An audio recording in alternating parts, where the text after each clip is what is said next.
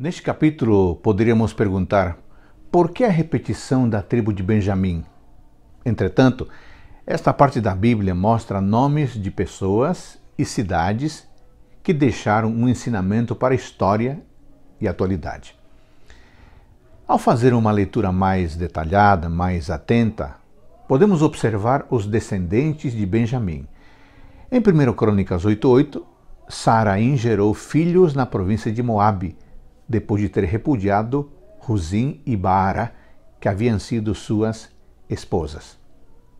É interessante notar como, ao nos misturarmos com pessoas que não têm os nossos mesmos princípios, os princípios cristãos, mais cedo ou mais tarde acabaremos aceitando os costumes pagãos e, consequentemente, abandonaremos a Deus.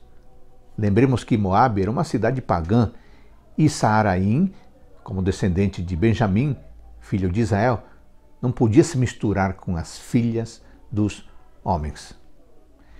Se observarmos cuidadosamente o livro de 2 Reis, capítulo 3, versículo 4 e 5, encontramos Mesa e lemos o seguinte: Mesa, rei dos Moabitas, era contratador de gado e pagava ao rei de Israel com mil cordeiros e cem mil carneiros com sua Sucedeu, porém, que, morrendo Acabe, se revoltou o rei dos Moabitas contra o rei de Israel.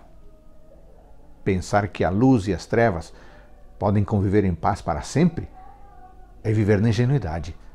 Mais cedo ou mais tarde, um deles prevalece. O ideal seria que a luz iluminasse a escuridão. E essa mensagem é válida para nós hoje, jovens e adultos. Se estou pensando em me unir a pessoas com quem não compartilho os mesmos princípios, é melhor me afastar.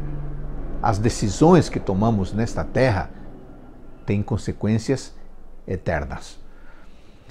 Considerando à primeira vista poderíamos ignorar o fato de que este capítulo é composto de pura genealogia.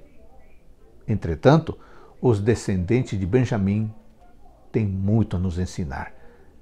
Deus nos convida hoje a não nos afastarmos de Sua presença.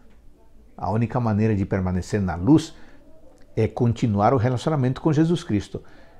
Se começarmos a negligenciar nossa comunhão com Deus, as coisas do mundo parecerão claramente atraentes, bonitas para nós. Mas este livro nos mostra que temos que, que, se temos afinidade com aqueles que não têm a mesma mentalidade e os mesmos princípios que nós, devemos ficar preparados para sérias consequências espirituais. Hoje, Deus nos convida a ficar ao seu lado e a lutar esta guerra revestidos da sua armadura dos seus princípios. Amém. Ótimo dia para você.